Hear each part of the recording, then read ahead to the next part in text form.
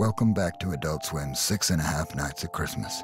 I'm your host Omar, and joining me tonight are my two best friends in the whole world, Coney and Foamy. I think the three of us and all of you might just have the best Christmas ever. See you soon.